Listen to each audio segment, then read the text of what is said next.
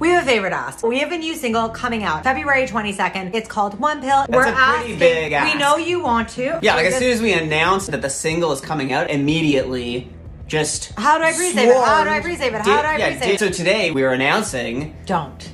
there's Don't. no way to pre-save it. There's it. no way to pre-save it. People Just don't. just begging us. Please, I'm begging you. Give them instructions. There is actually Yeah. no way. You can share our posts, you can share our music with your friends, but you're still not gonna find a way. You can make your own pre-save link, but Sure. it's not gonna work. Whatever streaming platform you use, you can go follow us there. You can- tattoo the name of the song to your Your body. That's that's a big commitment. I don't care what you do as long as you don't try to pre-save it. Thank you guys. You're always so supportive. We're so excited for the song to come out and we can't wait for you to not pre-save it.